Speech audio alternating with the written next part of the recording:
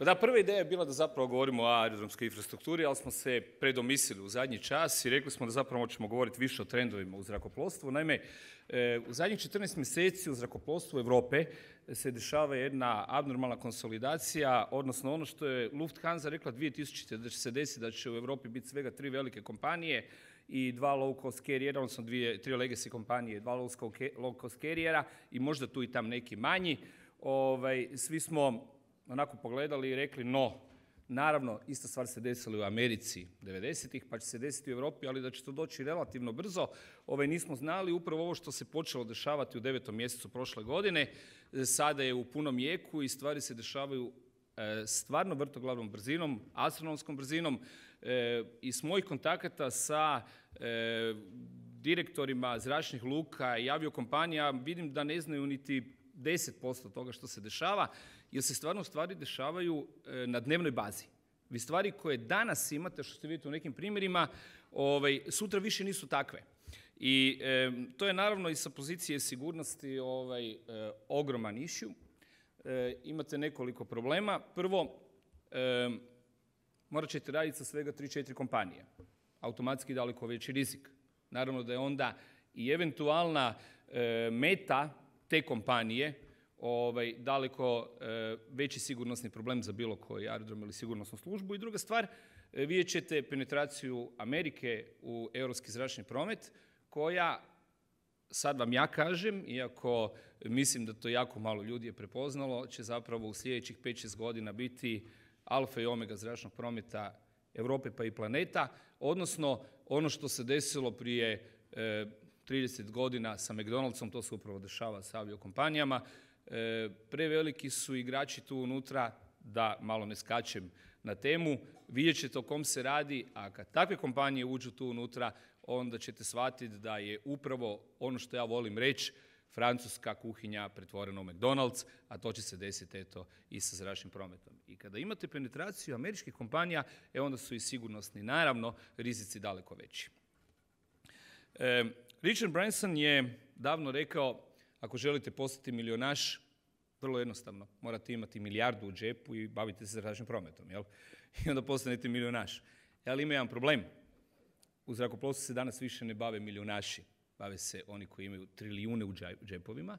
Dakle, kao što ćete vidjeti iz moje prezentacije, kompanije koje sada pale i žare i koje dolaze sad u Europu, a koje su do prije par dana bile potpuno nepoznate, ja vjerujem da vas 99% ne zna koje je to Indigo Partners, i neke druge kompanije koje ćete vidjeti ovdje, HR, HRM, nikad čuo prije, jer nisam niti za Indigo Partner znao dok nisam vidio, bog te kupili su 400 aviona. 400 aviona odjednom.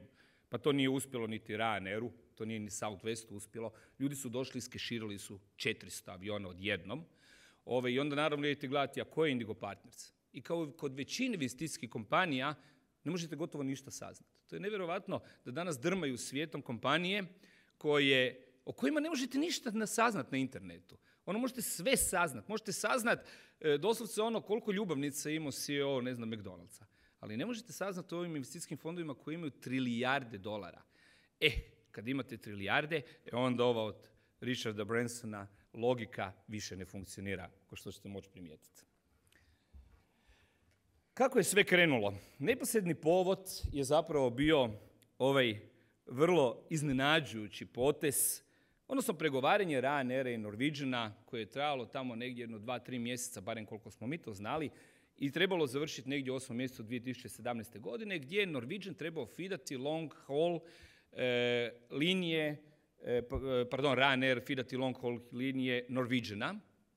I kada je sve već bilo gotovo i kada smo rekli, bok te, to će biti ogromno, Ryanair, plus Norwegian long haul, ovo će ubiti sve ostale. I onda vam je negdje krajem osmog mjeseca O'Leary počeo strašno govoriti protiv Norwegiana. Norwegian će skoro bankrotirati, to je smećarska kompanija, bla, bla, bla. I mi smo svi ostali onako, zašto pobogu o svom partneru? Par dana kasnije saznali smo sljedeće. EasyJet i Norwegian su tajno pregovarali, dok je god Norwegian uvjeravao Ryanair da je sve brajno i divno, oni su pregovarali i dogovorili u devetom mjesecu joint venture. Ryanair je izgubio priču, a EasyJet je od kompanije koja je inferiorna Ryanairu bila, iako su nastali gotovo istog datuma sa istom količinom aviona, dva aviona 95. godine, iznajmljena na 737-200, ovaj, i krenuli su u deal EasyJet i Norwegian. Samo par mjeseci kasnije vidjet ćemo da je taj deal daleko veći od EasyJeta i Norwegiana, ali tada je izgledao gigantski. I sad svi smo znali da će Ryanair imati neki odgovor, da neće pokleknuti, i onda su još krenuli oni štrajkovi o Ryanairu i svi su mislili, bože, eto, došao je kraj još jednom gigantu, ali smo ustanovali da zapravo nije. I onda zapravo cijeli rat, osim ovog neposrednog povoda, vam je krenuo zapravo na Hitrovu. Naime, Air France je sa prvo Delti ustupio određene slotove na Hitrovu, što naravno da British nije bajno gledao. Onda je nakon toga Delta kupila 49% u Virgin Atlantiku, od to tek nije gledao British dobro, to je njegovo dvorište.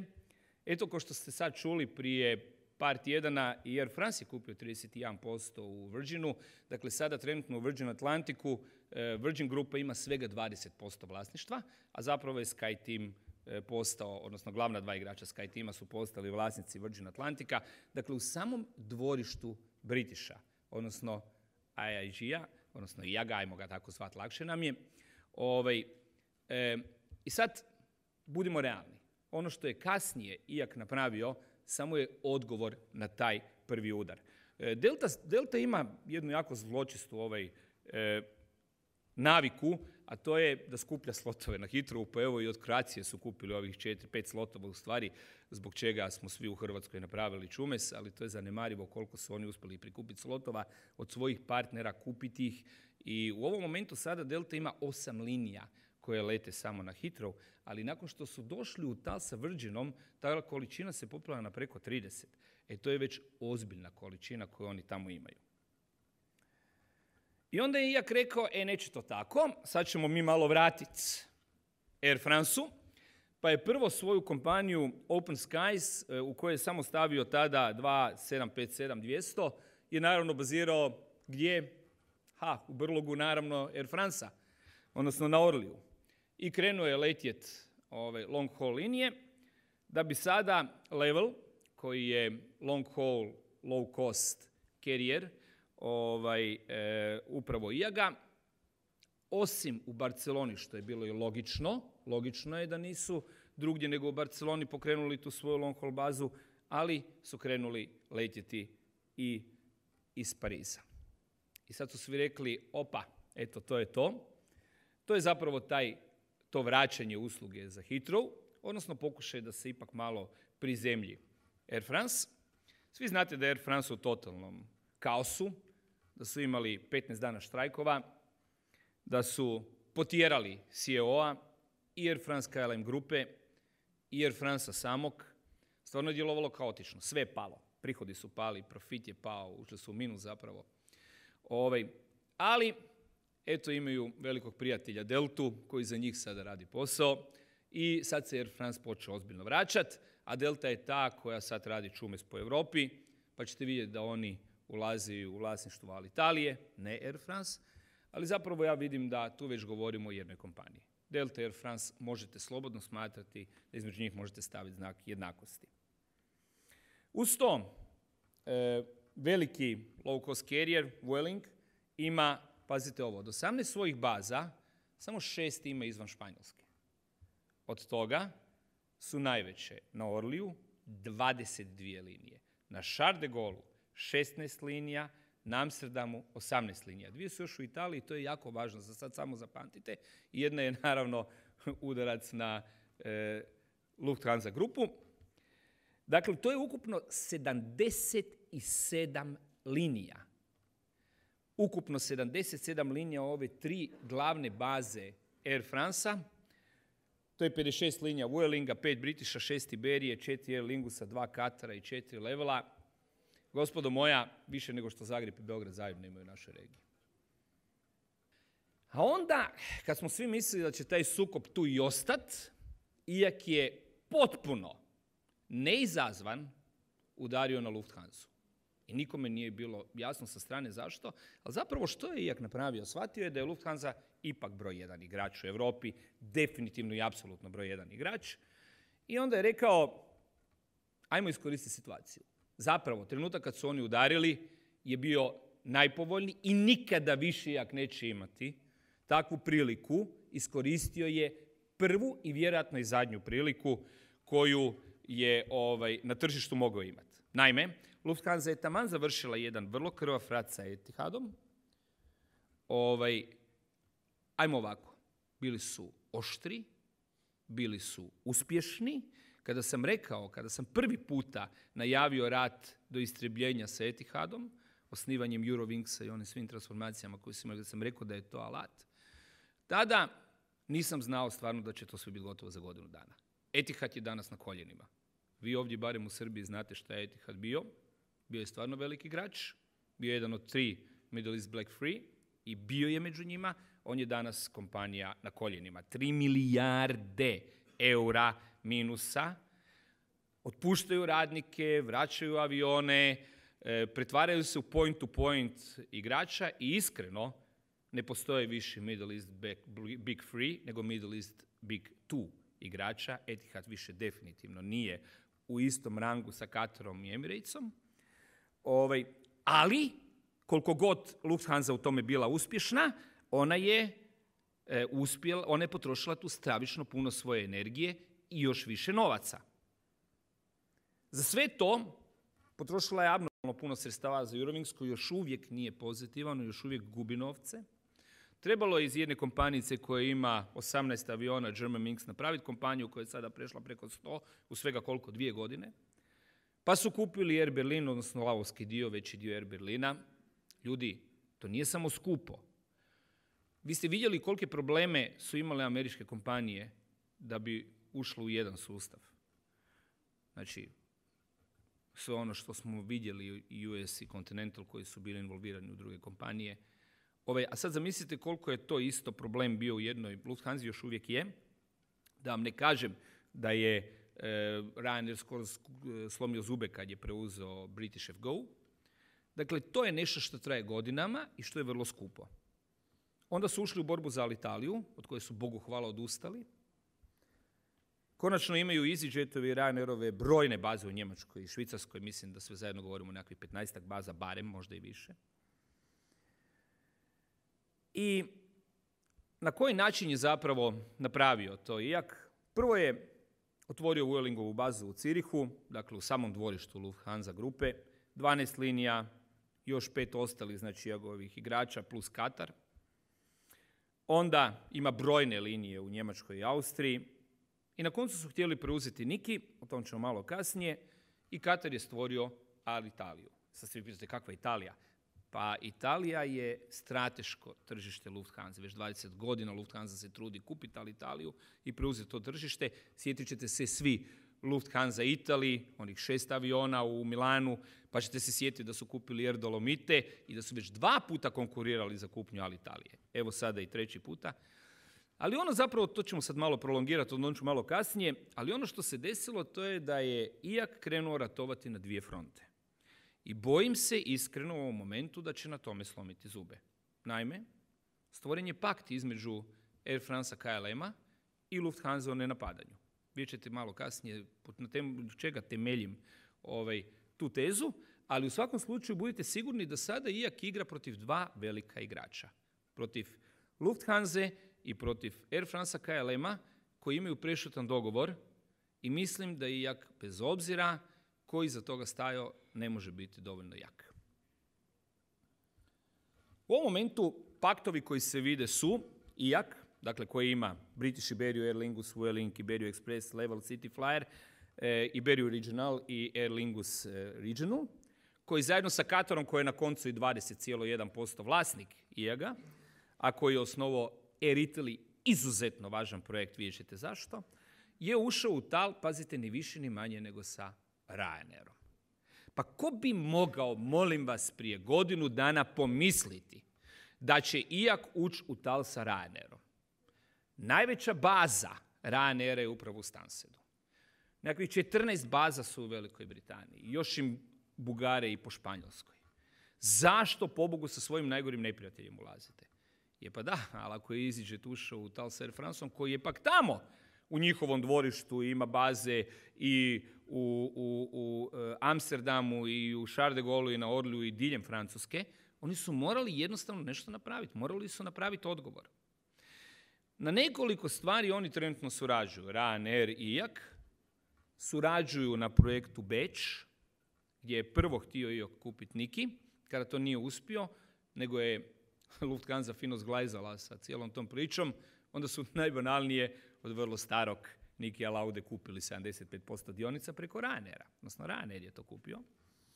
I drugo, imaju izuzetan deal sa Air Lingusom, dakle joint venture sa Air Lingusom su napravili Ryanair, da ne postoji veći tal, nikad vjerujte mi, Lingus koji je u 100% vlasništvu IAGA, odnosno ajde Britisha, jel, se ne bi dozvolilo tako nešto. Oni su bili najljuči neprijatelji. Vi znate da je Ryanair htio kupiti Air Lingus, trudio se svim silama. I na koncu zajedno kupuju ili trude se kupiti Norwegian, što je njima strateški bitno.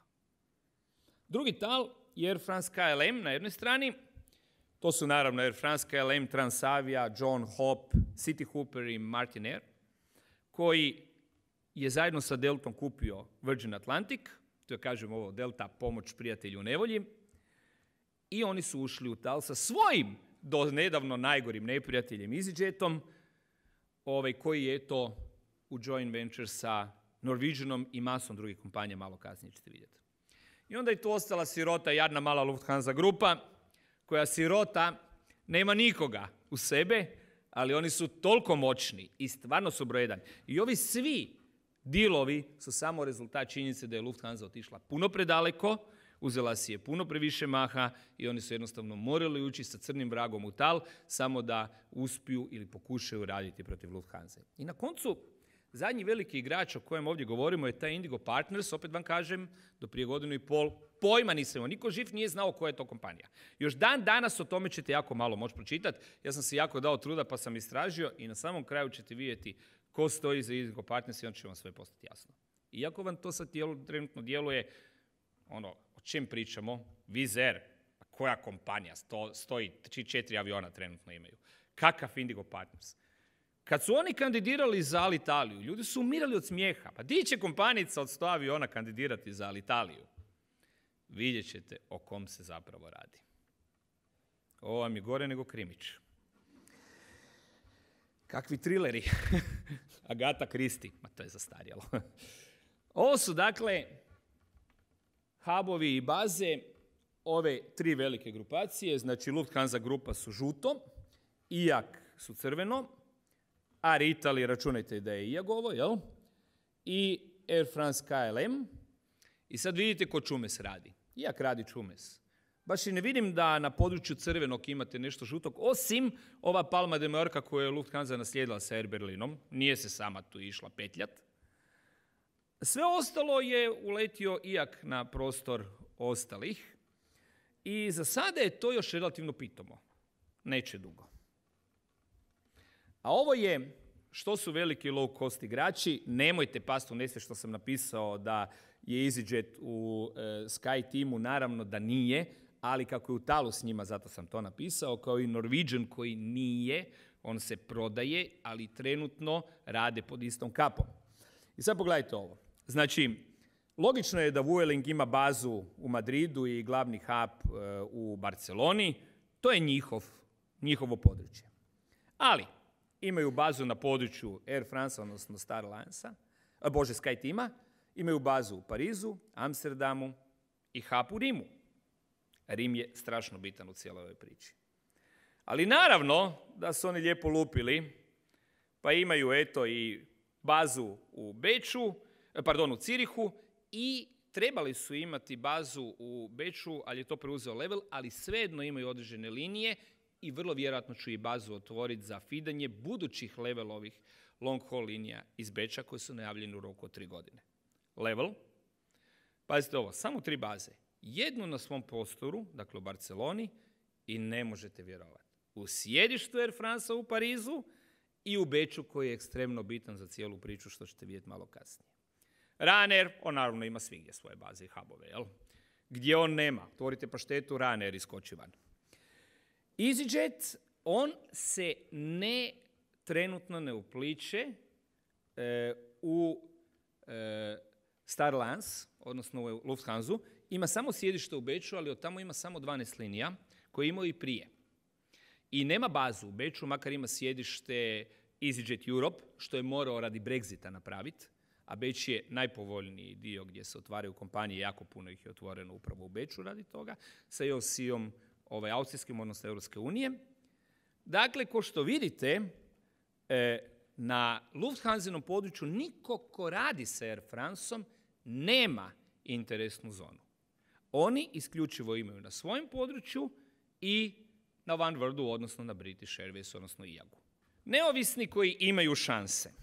Turkish u prvom redu, velika kompanija, ogromni razvojni planovi i zaštićeni su u Turskoj ko lički medved u Hrvatskoj.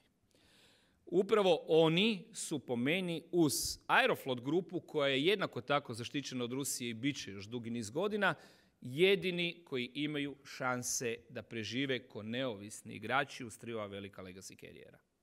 Norwegian, računajte da je mrtav, to je gotova stvar. Norwegian je gotov. Samo je pitanje tko će ući u vlasništvo Norwegiana i koliko ćemo ostaviti formalno ovaj, autonomiju. SAS grupa, no oni kemijaju već jako dugo vremena Bugare, sad su kao u nešto malo boljoj situaciji. Lufthansa je već odavno rekla da su oni kandidat za kupnju, ali to je prolongirano zbog ovog rata za Italiju, kupnje Air Berlina koji je možda došao malo prerano, a i na koncu i sad zbog ovog abnormalnog rata koji se jegom vode sa Norwegian. To je sve skupo, govorimo o iznosima preko milijardu eura. I u tom kontekstu SAS trenutno još uvijek se drži na iznad površine vode, ali vjerujte mi neće dugo. Sljedećih deset godina garantiram vam da SAS neće postaviti, odnosno možda hoće ko Swiss ili Austrian unutar Lufthansa grupe. Pegasus u Turskoj za sada nije da mu neko prijeti, ali vrlo vjerovatno će Turkiš vrlo vjerovatno ući u vlasništvo te kompanije ili neko drugi. Malo šanse sa svojih 28 milijuna putnika imaju da prežive na ovom tržištu, koliko god trenutno Turska bila izolirana ili zaštićena ili oni nisu u Open Skyu. Pa to je ta prednost, ali onog momenta kad će ući u Open Sky ili liberalizirati svoje ovaj, tržište, vjerujte mi da je Pegasus smeta. Ali Italija, no ona je već pod stečajem koliko godinu i dva mjeseca, Ove, e, samo je problem političkog rata unutar tri stranke na vlasti, što će s tom kompanijom biti, o tome ćemo za koju minutu, ali Alitalija je mrtva kompanija, to budite. Sima na koncu Alitalija je mrtva već 30 godina, ovaj, svako toliko trkne vlast jednu milijardu ili nekih sitnih 500-600 miliona da oni prežive, ali ovaj put je stvarno gotova stvar.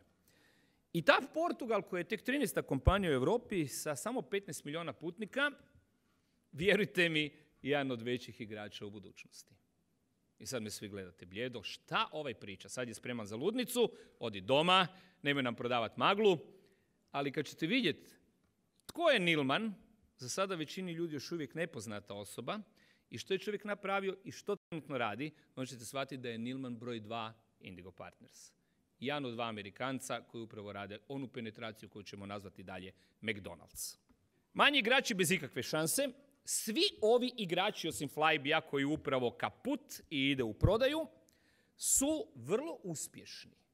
Oni su profitabilni, rastu, kupuju desetke aviona, ali vjerujte mi, to je samo zato što druge kompanije trenutno njih nemaju u kometu, jer ne mogu odjedanput kupiti sve. Lufthansa je jedanput zglajzala, kad je pretjerala u kupovini kompanija, i o tome ćemo zeru kasnije, pa je morala uvesti skori svoju vlastitu restrukturaciju jer je skoro propala radi toga. Ali Ovi igrači trenutno samo životare zbog toga što se nema energije, novaca i potencijala da ih se preuzme, ali svih ovih 30 koji su od 14 do 4,5 milijuna putnika su mete i siguran sam da u sljedećih 10 godina neće postaviti na tržištu. Usporedbe glavnih igrača, iak, znači kad pogledate Lufthansa, ona je najjača spram IAGA i Air France KLM grupe. I upravo kad dodate njima ove njihove e, velike igrače koji su s njima ušli u pakt, sad se situacija bitno izmijenila. Znači, Ryanair i IAK imaju skoro 240 milijuna putnika, Air France KLM, u to treba dodati još i Virgin i e, treba dodati Alitaliju koja će vrlo, vrlo, vrlo vjerovatno završiti u tom talu, kod Delte, vrlo, vrlo vjerovatno. onda su oni došli na nekakvih 200 i skoro 10 milijuna putnika. Lufthansa, da li će preuzeti Norwegian ili će ovih 33 milijuna otići u ovaj prvi stupac, to ćemo vidjeti. Taj rat je stvarno vrlo ozbiljan, ali mislim da je, da je i Lufthansa vrlo ozbiljno pristupila tom ratu. Imate Turkish, koje ako rezoniramo da će vrlo vjerojatno preuzeti Pegasus u sljedećih XY godina, onda imate Aeroflot, Air koji i ta Portugal koji su jako mali, ali dobro me slušajte, ovi će tako naglo poraziti, će vrlo brzo doći blisku ove prve tri, prva tri stupca. Šest je trenutno frontova na kojima se vodi ovaj sukop. Beč, indirektno Švicarska i Njemačka, Rim i Italija, London i Velika Britanija, Paris i Francuska, Norwegian i Island. I ta žarišta sukoba izgledaju trenutno ovako. U Beču Lufthansa ima Austrian sa 80 i nešto aviona, ali je bazirala 12 aviona Eurowingsa odjednom. I mislila da će to biti dovoljno. Nije. I Ryanair imaju bazu Ryanaira, odnosno Laudamotiona, kad vam god neko kaže Laudamotion, čitajte Ryanair. Točka. I jak ima tamo svoju bazu preko levela. Air France i KLM, rekao sam, oni se ne pajtljaju u e, Lufthansin teritorij, ali svejedno ima EasyJet Europe tamo sjedište i registriranih pro forme stoji, mislim, 10 aviona. I Air, odnosno Indigo Partners, je otvorio bazu u Beču. Beč je donedavno bio sukob broj 1. Više nije. I dalje je sukob, ali više nije broj 1. Rim i Italija. Lufthansa je vrlo iznenađujuće odustala od Alitalije. No, kad vam kažem zašto, onda ćete shvatiti da je to bio zapravo pametan potez. Air Dolomiti, onog momenta kad su obznanili da više neće raditi za, neće konkurirati za Alitaliju, odlučili su povećati flotu Air Dolomita za 120%. Što nam to govori? Air Dolomiti su Lufthansa kompanija u Italiji. Uz to dodajte i Eurowings kojem je najveće tržište Italija sa preko stotinu linija, i onda vam jasno na što puca Alitalija u svojem strateškom tržištu, bože Alitalija, Lufthansa u svojem strateškom tržištu koji se zove Italija. Air France, KLM i EasyJet u Italiji EasyJet i Delta ratuju za Alitaliju. EasyJet ima tri baze u Italiju, među čime i u Milanu jako veliku bazu gdje još i surađuje, odnosno FIDA Neos, long haul leisure kompaniju. Dakle, to je direktan udarac na Air Italy, odnosno IAK, odnosno Katar i Vizer koji je isto iznenađujuće odustao od Alitalije u zadnjih mjesec dana i to ćete vidjeti zašto. Paris i Francuska, Lufthansa se ne petlja na ovo tržište, rekli smo, oni imaju dogovor, deal, da se međusobno ne ratuje, ali Level tamo ima svoju bazu, Vueling ima tri baze, Ryanair ima baze, počeo ih je otvarati dvije trenutno u Francuskoj i najavio je preko deset baza u Francuskoj. Naravno, Air France to je njihovo e, područje, ima šest baza i Air France KLM, mislim i na Transaviju i sve ostale, i dvije baze EasyJeta u Parizu plus ostatak Francuske.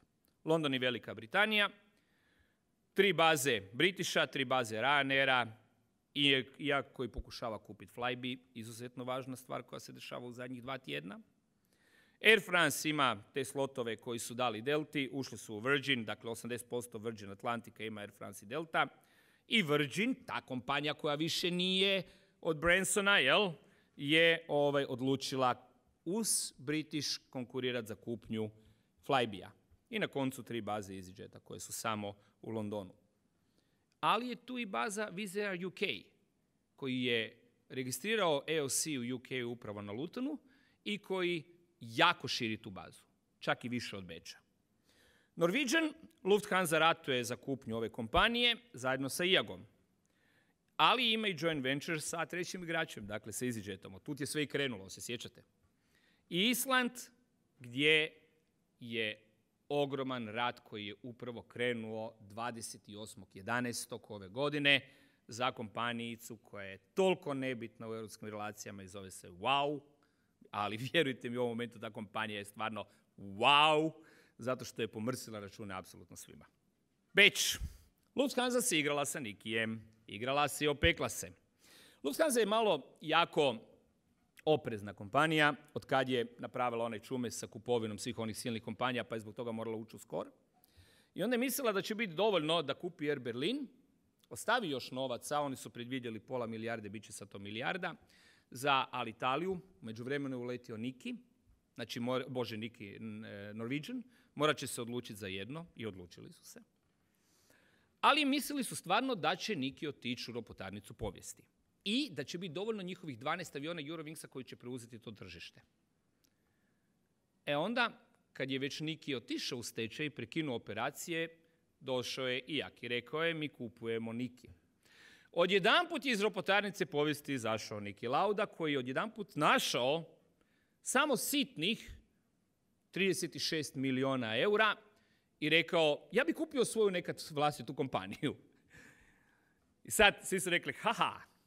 A onda kad je taj Niki napadno počeo raditi sa Kondorom, Kondor im je radio i prodaju karata i operacije, dakle kompletno cijeli support, a Kondor je već de facto kompanija Lufthansa, to se zna da to ide u prodaju i kompletno ono, to vam je stvarno ono vidljivo iz aviona. I kad vidite da je Eurowings iznajmio avione od Nikija, onda vidite da je zapravo iza toga bila Lufthansa koja se nadala da će Niki s njima surađivati kao što je surađivao prije nego im je prodao Lauda Air. Kada je on radio sa Austrijanom i kasnije sve to u talu otišlo pod Lufthansa, i sve je to bilo divno i krasno, ali onda, se, onda je gospodin Lauda se jako razbolio. Znate sad da je na samrtnoj postilji i rekao ja, kad ću ja ako neću sada. I mrknuo kamaru para, nakon što je eto on uspio kupiti kompaniju od Iagovog partnera Ryanaira. Ryanair je prvo kupio odmah 25% dionica i kad je dobio odobrenje, do 7, znači kupio je sve zajedno 75% dionica Lauda Motiona, to je nova kompanija koja je dakle nastala iz Nikija. I Lufthansa je dobila na svom prostoru kaos. Umjesto da su za sitnih 50 sitnih 50 miliona, majko mila sitnih 50 miliona eura, kupili Niki i riješili si to u vlastnom dvorištu, sad imaju najveći kaos koji su mogli. Imaju kamaru kompanija, pazite sad, imaju Laudamotion ili ti Ryanair, imaju Level ili Tijak, imaju EasyJet, imaju Vizer. 82 nove linije u šest mjeseci. 82 linije nove, gospodo, i više nego Beograd ima sve zajedno linije, uključujući i čartere. 100 ukupno linija ove četiri kompanije koje rade o glavu Lufthansa imaju u Beču. Beč ukupno ima 346 linija. Znači te 82 linije, to u ovom momentu ima, je 31% povećanja u šest mjeseci. Jeste ikad čuli to igdje u svijetu? Ja nisam. Ni blizu. A to je 29% svih linija koje trenutno postoje u Beču. Ovako vam to izgleda. Lufthansa grupa ima 165 linija, pali su na 47,7%. Ovi igrači koji rade o glavu Lufthansa imaju trenutno 100 linija, što je 28,9% i svi ostali igrači imaju 81 liniju. Ovako vam to izgleda udio na tržištu u Beču svih tih, znači Laudamotiona, Levela, Vuelinga, British Iberia, Aer Vizera i EasyJeta, odnosno Air France, KLM-a i Transavije. I što se desilo? Trenutno u Beču vi imate kaos gdje malo koja linija ima samo jednog prijevoznika. Recimo London vam primjerice ima čak pet prijevoznika, nekakvih osam ili devet linija sve zajedno. Palma de Mallorca čak četiri prijevoznika. Nedavno sam kupovao kartu za Palma de Mallorca, naravno iz Beča. Ne želite čuti koje su cijene. Ono doslovce me više košta karta do centra Zagreba nego što me košta karta između Beča i Palma de Mallorca. Ipak, svi oni su sad povukli ručnu, trenutno prilagođuju redove letenja, gase neke linije, neke povećavaju frekvencije i tako dalje i mislim da tu daljnjeg rasta neće u dogledno vrijeme biti, nego da će s ovim što imaju, osim vizera, koji dalje ko mutav lupa avione, čak evo sve što vidite kad ste čuli da vizer e, reže količinu frekvencija u Tuzli, u Skopju, u Nišu, u Beogradu, ne zato što su odustali od tržišta, trebalo im je aviona. Sada kada će dobiti, oni dobivaju negdje cirka koliko jedan ili dva aviona mjesečno, e, vratit će se nazad oni na to tržište, nemojte paničariti, nije Vizer odlučio za, e, se maknuti iz regije, njima je samo u jednom momentu trebalo aviona, na koncu zatvorili su prak radi toga, e, smanjili su, a skoro u svim svojim bazama su smanjili po nekoliko letova frekvencije i linija da bi oslobodili što više kapaciteta za Beč. Air France KLM, rekao sam već par puta, pakto ne napadanju sa Lufthansa, Između ostalog i Transavia se povukla iz Minhena. Ne zato što se boje Lufthansa, mislim, hm, boje se naravno, ne zato što tamo nisu imali kruha, nego samo zbog činjenice da su očito dogovorili nekakav tal i ko što ste mogli primijetiti na onim prethodnim tablicama, oni nisu na području Lufthansa grupe, pa uključujući i povlačenje Transavije iz Minhenske baze. I sad bi čovjek rekao, nema odgovora Lufthansa, oni misle da će 12 aviona Eurowingsa biti dovoljno, ali oni su malo promijenili strategiju. E, prvo, Eurowings preuzima masovne linije Ostrijana. Ostrijan uopće ne raste. E, drugi partner, zamolili su drugi partnere za pomoć, nije prvi puta. Kad su preuzimali Swiss, sve svoje pulene su zamolili da počnu letiti za Cirih. Jednako su vam napravili kad su Brussels preuzimali, svi puleni su otvorili masu linija, masu. Kroacija je imala dva leta tjedno, odjedanput je imala 12. E, zato da unište domaću kompaniju. Oni su sad krenuli sa partnerima, pa je tako Ana preuzela liniju Beč-Tokio, a Air Canada za Toronto, zato je prebacio Austrian svoju liniju na Montreal. Vraćaju se Q400, umjesto toga su uzeli ove prekrasne sabove od Adrije, od kojih četiri leti jedan. Ali, zato su četiri tamo bazirana, pa jedan uvijek leti, jel? Lufthansa je napravila niz smjera, ovo sve je napravila u zadnjih mjesec, mjesec i pol. Prvo prebacuje na City Line Airbus 319, to je logično. Airbus 319 izlaze van iz e, e, uporabe legacy carriera, 320 je taj koji je avion budućnosti. Vidite i sami da 319 nije je napravljen svega 50 komada je naručen i to kreće sada u City Line, što pokazuje da regionalni kerijeri povećavaju svoju flotu sa 100 citera na 140. Dolomiti, to smo već rekli, se povećavaju 120%. Long haul linije u Düsseldorfu su prešle sa Lufthansa na Eurowings, govorimo o Nevarku, i otvorili su kamaru novih linija iz Düsseldorfa. Pazite, imaju 16 interkontinentalnih linija iz Düsseldorfa. Eurowings, naravno. računajte da je dok Eurowingsa bilo nije, Lufthansa imala svega dvije linije i to su za njih letili partner air, dakle avioni od 80 mjesta. Long haul baza Eurowingsa u Frankfurtu, to je zadnji projekt koji je još najavljen u Lufthansa ovaj, i to je wow, to je ogromno, to je ogromno. I otvaraju azijski hub u Minhenu.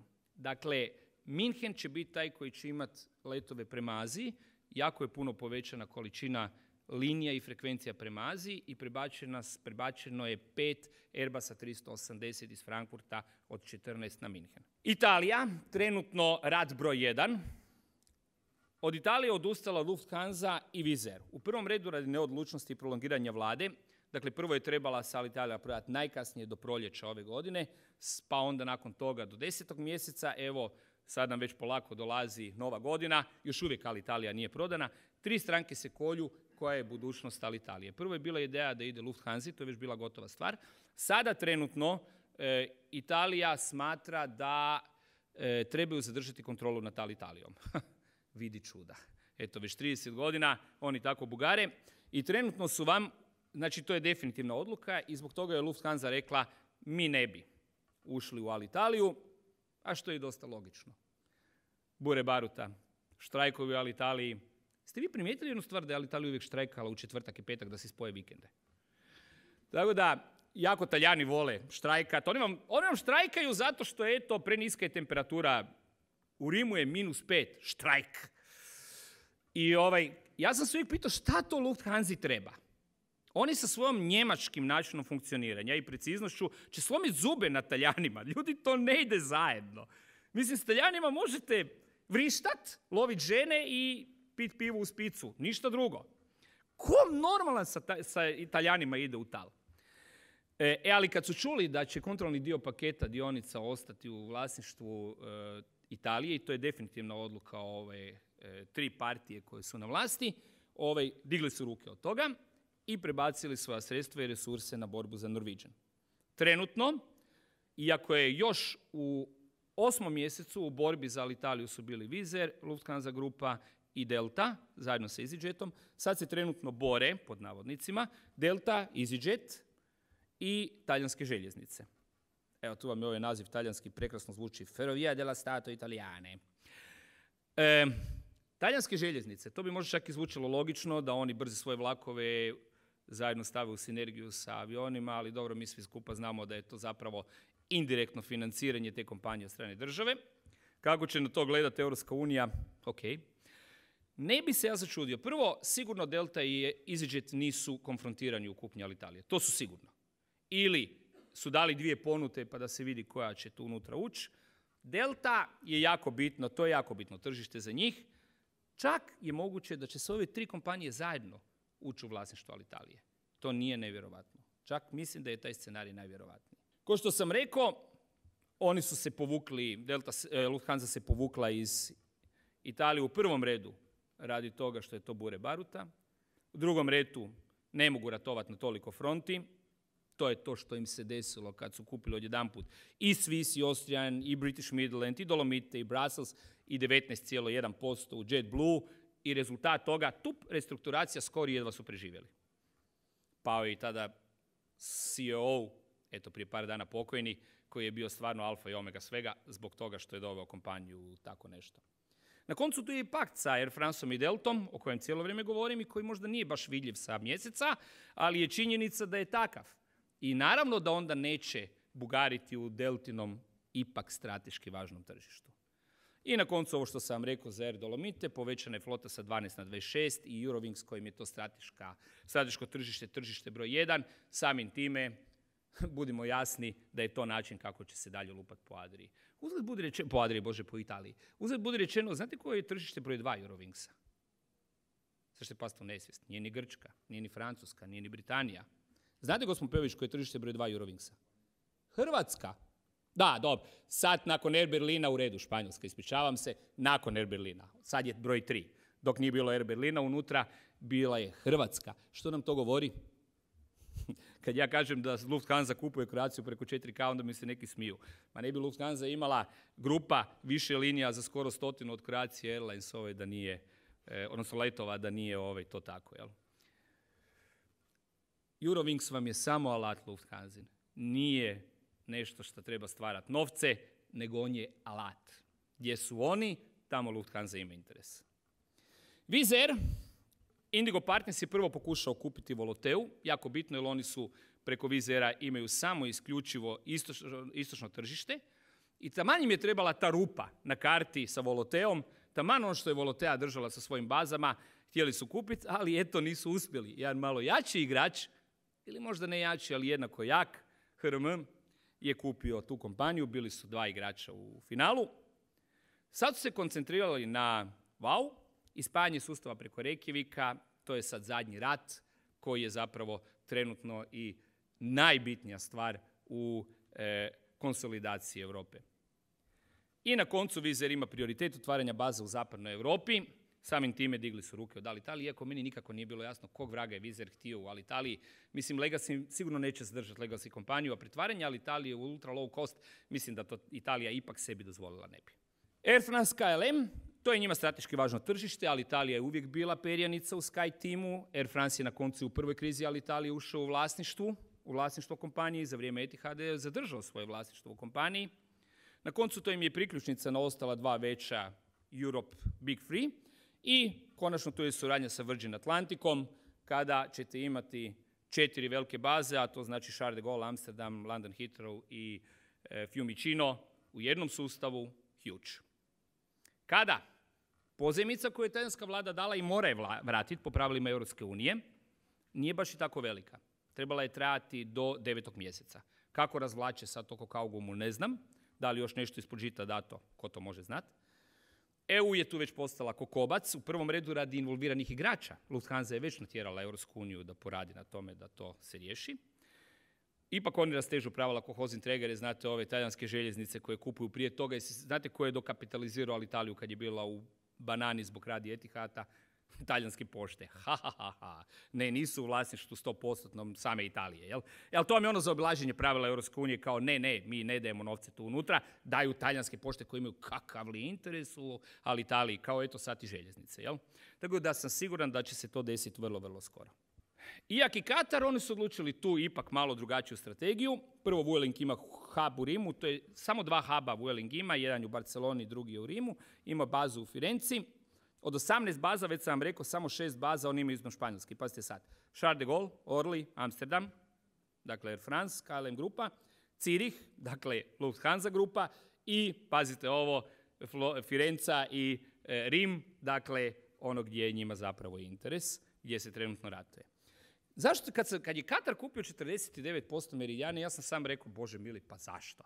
Znate, Katar vam je do sad kupovao 20,1% u Iagu, 10% u Latamu, 9,6% u Kataj Pacifiku, pokušao je kupiti 10% u Amerikanu, a onda kad to nije uspio, htio je neprijateljski preuzeti 5%, pa i to nije uspio. U pregovorima su se Armalog, zašto su oni kupili kompanicu koja ima 16 aviona?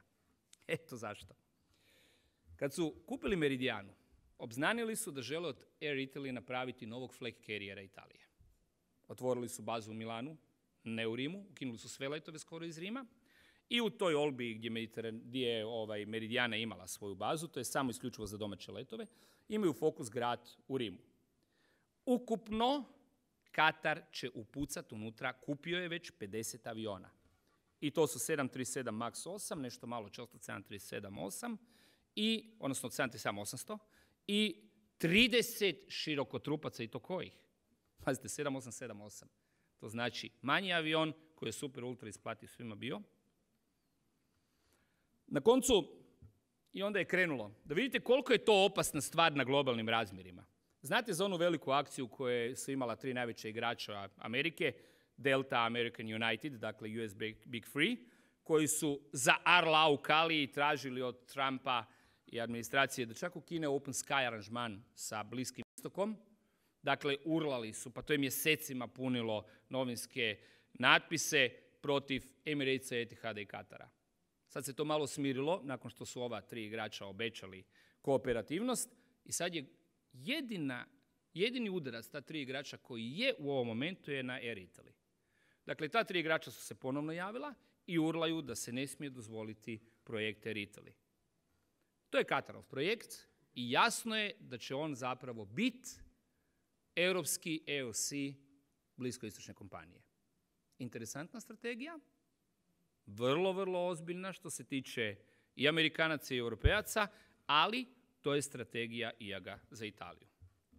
Zato što je e, Katar imao problema sa tim velikim igračima, ali s Amerikanom koji je dio One Worlda, on je najavio izlazak iz One Worlda i čak osnivanje vlasti alijanse. Možda za sada pritisak, ali možda se to stvarno i desi. Dakle, on je vrlo nezadovoljan što je njegov partner u alijansi, Arlau će protiv njega i zbog eh, Air Italije i zbog na koncu njihovih ugovora prema Americi. Francuska, to ćemo sad preletiti samo jer smo već više manje to riješili. Znači, Vueling ima baze na Charles de Gaulle u Orliju i Amsterdamu, Level ima svoju long haul bazu u Orliju i eto sad i u Beču, koja nije long haul trenutno baza.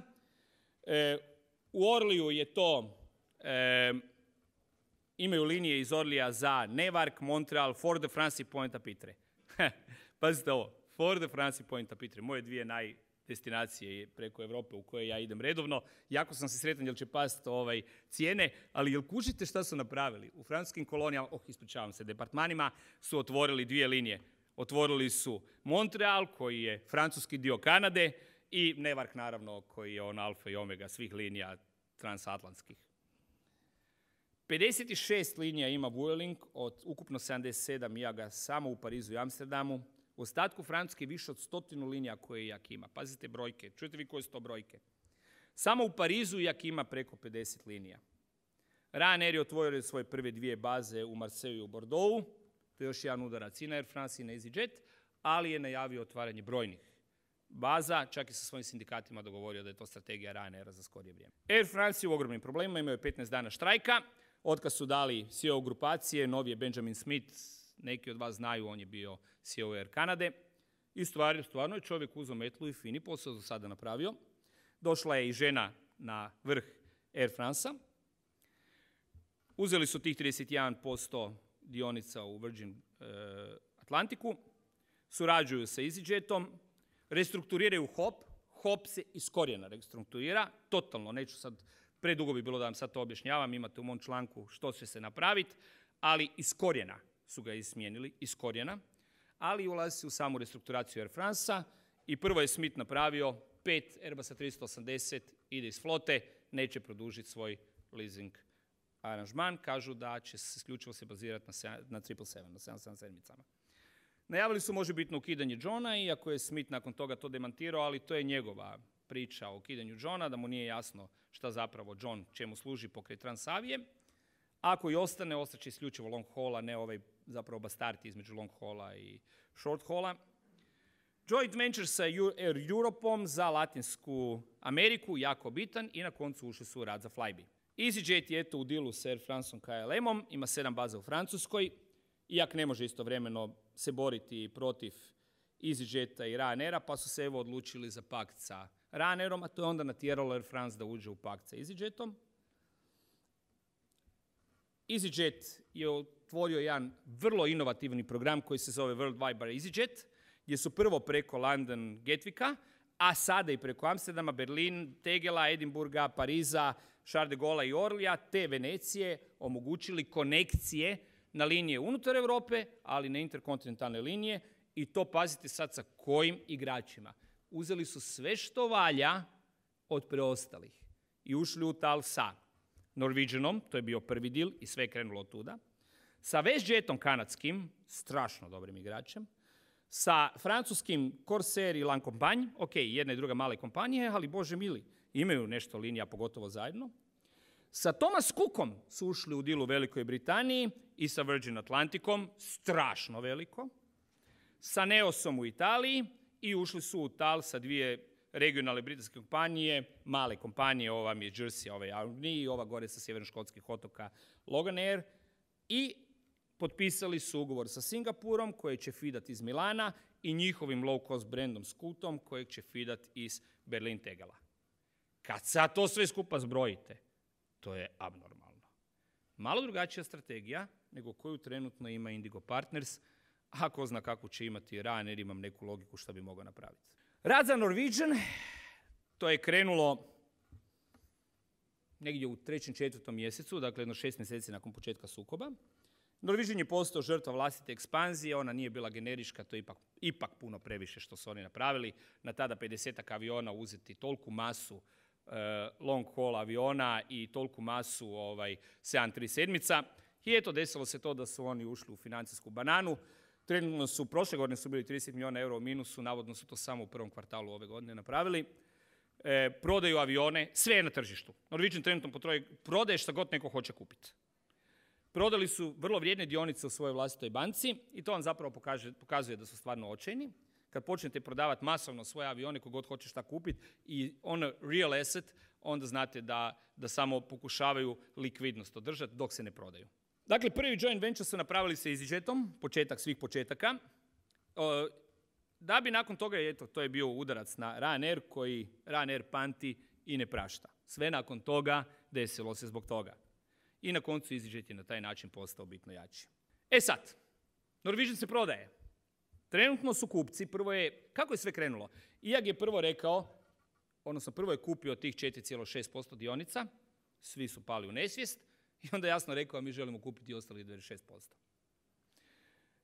I onda je Norwegian koji je eto, u takvom financijskom stanju u kom je, počeo pregovarati s njima i molio Boga da dođe još neko i došao je. Naravno, onog momenta kad je Lufthansa čula da IAG kupuje Norwegian, vidi čuda, u roku od tri tjedna eto i njih. I onda je IAG ponudio dvije ponude, Norwegian je odbio. Zajedno sa Ryanairom je ponudio treću ponudu i to je odbijeno.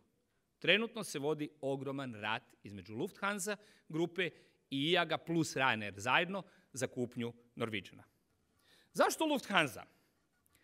Skandinavija je Lufthansino strateško tržište, isto kao Italija. Točka. Oni su najavili kupnju Sasa, iako su kasnije rekli da odustaju od toga, ali znate ono, e, vjerujte mi, ono što vam kompanije danas kažu da će napraviti, naprave uvijek diametralno suprotno. Se sjećate svih mogućih informacija koje smo imali, ono, Emirates neće doći u Zagreb. I onda su za tri tjedna najavili dolazak u Zagreb, jel? Ovaj, Ryanair i IAK, odnosno Level, na tom tržištu Lufthansa, Lufthansa ne trebaju. Stvarno ne trebaju, jer ideja je otprilike da bi Ryanair preuzeo uskotrupnu flotu, a Level da bi preuzeo širokotrupnu flotu. Na koncu to je i protuudar Lufthansa. Za i na koncu, čak i ako Lufthansa ne kupi tu kompaniju, to vam je ono, znate, kad imate u onim aukcijama pa onaj neko diže cijenu da ovaj drugi mora preskupo kupiti i onda nema novaca da kupi nešto drugo. Dakle, čak i ako Lufthansa ne kupi, zagorčit će život Jagu i Ryanairu i ovaj, morat će kupiti za daleko veću svotu novaca tu kompaniju i neće imati za nešto drugo. Zašto i jak? E, njima je daleko važniji Norwegian nego Lufthansa. Norwegian je trenutno njihov najveći problem nakon što su napravili pakt sa Ryanairom. Norwegian ima ogromnu bazu na Getviku. Puno više linija Norwegian ima iz Getvika nego iz bilo koje svoje druge baze, uključujući i Skandinaviju, a pogotovo long haul. Long haul je gotovo sav tamo. Ima 43 linije, od čega 14 interkontinentalnih linija prema SAD-u, Brazilu i Argentini. Uz to, baze Norwegian ima i na ostalom jagovom bazičnom tržištu, nije samo Velika Britanija, naravno, znači u Barceloni, Madridu, Edinburgu, Gran Canariji, Malagi, Palma de Majorci, Tenerifima, Parizu, Rimu, e, New Yorku i Dublinu. Preko stotinu linija Norwegian iz ovog prostora ima. Ima kompaniju u Velikoj Britaniji i kompaniju u Irskoj, Norwegian, sa njihovim EOS-ima. Otvorio je kompaniju u Argentini, to je ogroman udarac na Iberiju, ne samo da ima znači, liniju prema Argentini, nego i FIDA sa svojom vlastnom kompanijom tamo trenutno ima 2,7-3 sedmice, a povećat će ih na 10 u sljedećih dvije godine. Dakle, oni su krenuli doslovce bugariti po Latinskoj Americi. Zamislite kako Iberija na to gleda. Na koncu Norwegian vam je od prije par mjeseci broj jedan neamerički transatlantic carrier. Ima 1,7 miliona i ima par sto tisuća više nego što ima British Airways. Kako bi vi ko British Airways tada gledali? Britishu je ipak to glavno tržište. Što još radi ja kao odgovor? Prvo dao je rok Norwegianu do sredine trećeg kvartala da se mora odlučiti o prodaji. Nakon toga oni povlače ponudu. Ako ne uspiju prodaći ovih svojih 4,6% dionica u Norwegianu, napravili su joint venture sa Latamom, Iberijom i Americanom, zbog radi širenja Norwegiana u Latinsku Ameriku, povećavaju long haul Aer Lingusa za duplo u sljedećih pet godina, za duplo, čisti odgovor na Norwegian, jer se ne mogu širiti. Na koncu Aer Lingus je kupljen za abnormalan iznos od 1,1 milijarde e, eura, zato jer se British ne može širiti više na Heathrow, pa će sad ekspanziju svoju raditi na e, ovaj, e, iz Dublina. Iberija se rekonstruira i kreće u ekspanziju i tako dalje tako dalje. On će 6% povećati kapacitete na long haulu, od čega na 6-8% na long haulu. Norwegian ukida neprofitabilne linije, čak i Singapur, racionalizira, evo na primjer Zagreb i Kinu Zimin, racionalizira kompletno sve, prodaje avione, sve na tržištu, već sam rekao, prodaja tih dionica, Uveo je na long haul linije A321 long range, ima ih 30 komada koje je kupio, ali dobar dio svoje flote 737 MAX 8. Otvorio je kompaniju u Švedskoj, Argentini, u Velikoj Britaniji, u Irskoj. Pregovara sa više igrača, možda i neko se drugi još nađe uz British i uz Lufthansa, možda Indigo Partners, EasyJet, možda Nilman dođe. U Velikoj Britaniji, iako ima kod kuće ogromne probleme, već sam većinu tih problema rekao, ali one koje nisam rekao, to je da je Lufthansa u dilu sa Fly BMI, lokalnim feederom, bivšim BMI Regional. Jet2 ima ozbiljnu ekspanziju, 12% raste u idućoj godini. Thomas Cook ide u prodaju, ko zna kom će se prodat, Britishu to sigurno nije svejedno. Volotea je prodala svojih 49,9, nije prodala Iduko Partisu, nego tom HSR managementu i raste na prostoru gdje je Iberija. Indijski low cost Indigo kreće u ekspanziju u Europu, oni neće uzimati širokotrupce, nego će sa jednim stopom, pregovaraju trenutno sa dvije e, zračne luke na rubu Europe i Azije i otvorit će brojne linije prema Europi sa van stopom, tu će imati samo refuel, ništa više, između ostalog kamaru toga prema Velikoj Britaniji. Katar je u ratu sa One Worldom, Qantas je u talu sa Emiratesom i Brexit. Dičeš gore pojak. Flybe, to vam je kompanija koja je sve i svašta radila. Imali su svoju regionalnu, odnosno imaju su, oni su zapravo regionalna kompanija sa point-to-point letovima i 12 baza. Imaju hub u Manchesteru i Birminghamu, iako su regionalna point-to-point kompanija. Imaju feeding linije za Virgin, Air France i Delta na Heathrow, iako ništa drugo na Heathrow nemaju. Imaju PSO linije, franšizeri, imaju franšizere Stobart, Blue Island, Eastern prije Logan Air, lete za druge, sad trenutno za SAS prije za njih više, imaju kod share na velike igrače, čartere i bave se ACMI biznis. Zašto Air France KLM? Pa zato što Delta i Virgin moraju imati feedera u Engleskoj, Velikoj Britaniji i ako im ode tu Flybe, oni su u dosta velikoj banani. Nasušno im to treba. Na koncu kombinacija sa Hopom, City Hooperom i Flybe to će biti moćno i to će biti na koncu još jedan udarac na British IAK. Zašto IAK? Pa zato što bi prvo ukinuo saštarenje Flybija, povećao bi regionalnu flotu City Flya na taj način, koje sad trenutno leti iz eh, London City i Stanseda. 46 jednih polazaka bi dodao na svojih sadašnjih 292 za feeding linije iz Hitrova, to uopće nije malo, pogotovo što na Hitrovu nema slotova. Veća prisutnost u ostatku Britanije, posebno u hubovima u Manchesteru i Birminghamu, gdje trenutno IAK nije baš nešto prisutan. I na koncu Flybe bi tada letio umjesto Stobarta u Irskoj i umjesto Air Nostruma u Španjolskoj. Smanjio bi potencijali na taj način Virgina i Flybemija. I na koncu zadnja fronta, koja je trenutno i najbitnija. Probat ću je preletiti jer mi šapću da imam još dvije minute. Island je ekstremno bitan radi ekspanzije koju niko trenutno ne vidi, a to je Amerikanci u Europi. Prvo je bio deal između Islanda i Vava, bilo je logično, on njima se prelama 19 linija, što je 49% bilo Islandera i 70,5% Vava. Islandair je pao na, sa 81% tržišnog udjela u 2012. na samo 47, pada im low factor, jednima i drugima gube novac, to je na koncu o glavu i koštalo Vau.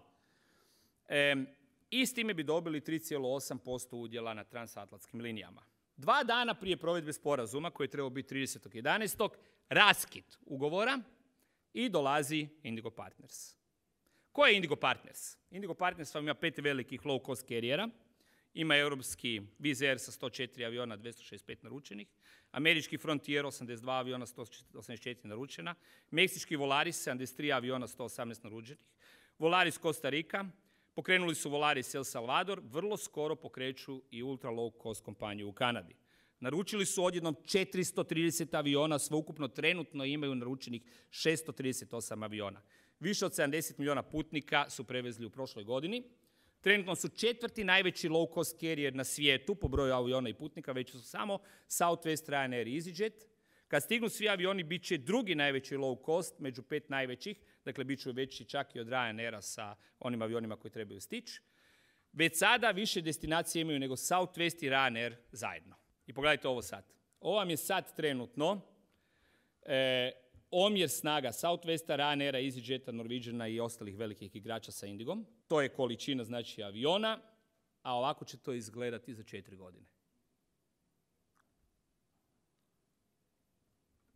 I ono što je najbitnije, znači nije važnost Islanda zbog propasti Icelandera koji će se sigurno desiti. Icelander će se morati prodati nekome, oni ne mogu preživjeti sa Indigo Partnersom u dvorištu, nego globalno spajanje Indigo Partnersa. Kad sam ja to govorio prije tri godine, kad sam vidio da 11 linija Vizer ima na nekakav Reykjavik, za šta? Nema point-to-point putnika za Reykjavik, ima samo konekcija prema Americi i rekao sam to mora biti samo jedan jedini plan. Gospodo, a to je ovaj.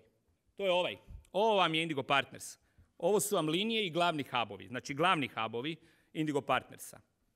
Vizer u Europi sa svim linijama i svim destinacijama. Frontier u Americi, sad još dodajte i Kanadu koju će uskoro otvoriti. Meksički dole Volaris, pa Volaris u Costa Riki i Jet Smart koji imaju dole u Latinskoj Americi, tek su ga počeli razvijati. I vidite ovaj tur Reykjavik gore koji štrči. Vidite ga? Što je Vizer toliko letio za Reykjavik? E sad, Indigo Partners kupio VAU. Jel sad svačate? Dakle, povezuju u roku od šest mjeseci sve ove kompanije preko Reykjavika i preko London Lutona. I kad se to poveže, vi ćete se jednim ili dva presjedanja možda doći bilo gdje u Ameriku po low cost cijenama. Ko to drugi ima? Nitko. Kakav je to odgovor na legacy carriere? Oho. Rekao je William Augustus Franki, čovjek ima, ljudi moji, 82 godine.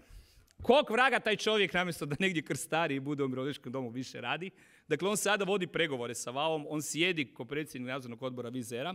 Inače, čovjek osnovao American West, Tiger i Spirit, sve kompanije koje su super bile profitabilne, od toga sve ovo isfinancirao. On je rekao, mi se generalno fokusiramo na ono mjesta gdje putnici žele napustiti autobuse i vlakove te prijeći na avione. Razlog zašto to već nisu učinili visoka cijena aviokarata. Ne radi se da li imamo previše aviona ili konkurencija ima previše aviona. Najbitnije je kako mi zapošljavamo sve avione, a naši avioni su vrlo uspješni. I ovo je ono što vam cijelo vrijeme govorim. Znate vi ko stoji iza Indigo Partnersa? Malo ko zna. JP Morgan, najveća financijska institucija na svijetu. JP Morgan je započeo dva svjetska rata i završio ih je kad im je to pasalo. Amerika je ušla u oba do svjetska rata kad je to rekao JP Morgan. Što zamisli JP Morgan, gospodo, oni i ostvare. Govorimo o kompaniji koja je trenutno najmoćnija institucija svijeta koja ima 3,5 trilijardi dolara kapitala. Oni financiraju Indigo Partners. Kad njih imate da kupujete odjednom 430 aviona, ko tome može parirati? Tu je još unutra Irlandia Aviation koja radi istu stvar koju radi Indigo Partners. Njima u talu je Ryanair. Deklan Ran je sin i nasljednik e, Rana koji je osnovao Ryanaira. Irlandia Aviation, evo tu vam sve piše, ko je iza Ryanaira, pazite ovo, iza njih su Capital i Fidelity, pazite cifre, 1,7 trilijona, 2,5 trilijona, e, HSBC 2,5 trilijona, kompanije u New Yorku i kompanije u Hong Kongu. Bog te pitaj čiji je to kapital. To sam Bog može znati čiji je to kapital. Ako neko od vas ima koji trilion, može isto ući u ovaj tal. Na koncu tu je taj Nilman, evo sekunda, na koncu tu je taj Nilman, Atlantic Gateway Consortium. Gospodo, Nilman je osnovao Morris i prodao ga Southwestu za puste milione. Pa Jet pa prodao udio dionice u Jetu za puste milione. Pa osnovao Blue pa ga prodao za puste milione. I danas taj čovjek ima Azul Brazilian 127 aviona, kupio je TAP Portugal 70 aviona, a Igla Azur 12 aviona i kupio je 60 bivših C serije i otvara kompaniju Moxi u Americi. I sve ovo skupa je već sada povezao, a povezat će i taj Moxi, to je već najavio. Znači 2022. u Syndigo Partners imate još jednu kompaniju koja će istu stvar napraviti. I sad vidite zašto ta Portugal više nije tako mala kompanija. Na koncu iza njega stoje Bob Milton koji je bio CEO Air Canada. One znate kad su krenuli oni štrajkovi Air Canada i ona muljaža sa dionicama, no to je taj igrač. I na koncu naš dragi Harry koji je bio CEO LFC-a. E, kad vam ovakvi igrači stoje iza, onda vam jasno zašto sam rekao da 100 milijuna je skupio ovako.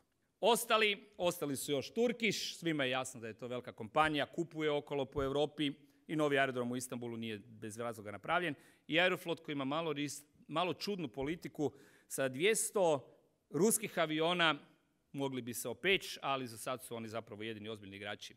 Kod malih spajaju se CG1 Nostrum, isto je napravio i DAT, 4K kupuje po našoj regiji, Bože me pomozi. I na koncu, gospodo, to su igrači. Indigo Partners, Irlanda Aviation, HRS Management, Atlantic Gateway Consortium, to je Nilman, i Synergia Group, to su dobri igrači. dobri preuzmula se, ali će bar nešto napraviti. 4K i Intro Aviation su oni koji kupuju da bi prodali ili uništili. U svakom slučaju, ono što se trenutno dešava u zračnom prometu Europe, mislim da svakome od vas treba staviti veliki upitnik iznad glave i da trebate prilagoditi i funkcioniranje zračnih luka, aviokompanija, svakako i sigurnosne aspekte. Eto.